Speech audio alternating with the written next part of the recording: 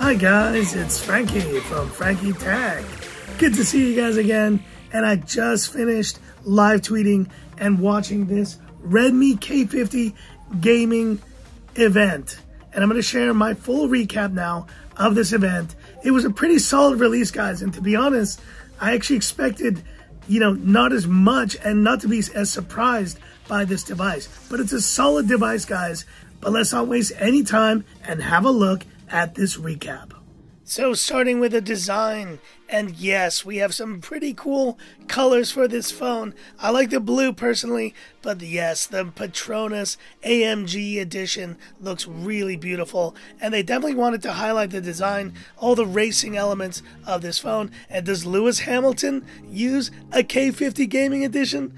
uh, it's so funny, but here's the deal, guys. There is a lot of beastly power behind this phone, especially with the Snapdragon 8 Gen 1 and a really new updated vapor cooling system with a 4,860 millimeter square area. This should solve a lot of these issues we've been seeing with the Xiaomi 12 Pro, and sustained gaming performance should be excellent with a 4700 mAh battery powering it all. It's still a slim device at 8.5 millimeters and honestly, guys, I do think with this much power, these devices need some serious cooling. You'll get it here with this added accessory, but now talking about the display of this K50 Gaming Edition, a flagship display, guys, and Gorilla Glass Victus on this display as well. 1920 Hz pulse width modulation, and A plus DisplayMate rating, which is excellent.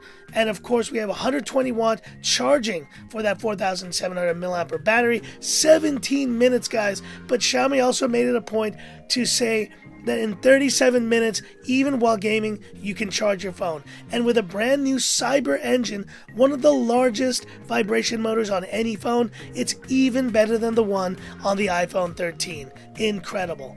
Now, of course, we have the return of the trigger buttons, and they are enhanced with better water protection and just better overall an experience with these. The audio experience has been much improved, and we have quad speakers, guys.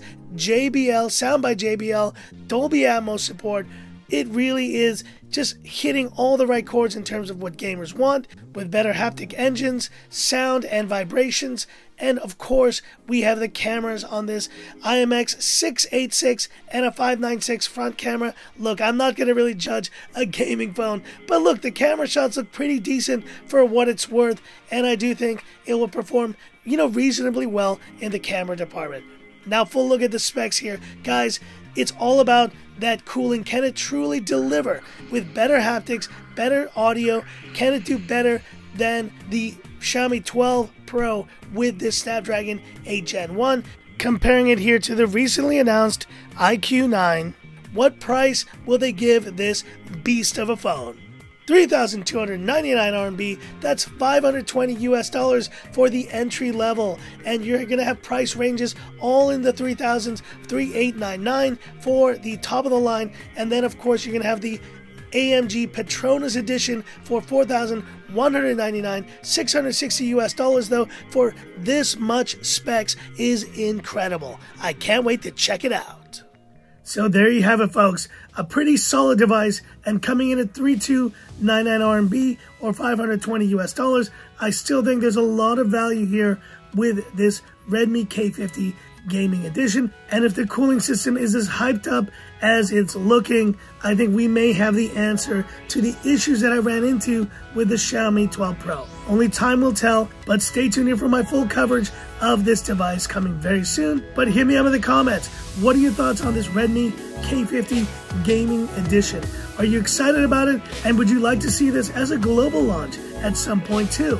Hit me up in the comments. I'd love to hear about it. And that's it for this video. If you liked it, give me that thumbs up. And if you love the content of Frankie Tech, subscribe to the channel, hit that bell icon for future updates. Thanks for watching, guys. Stay tuned for more great content. A lot of new devices on the horizon. Stay tuned. And this is where I leave you by saying, this is Frankie Tech signing off.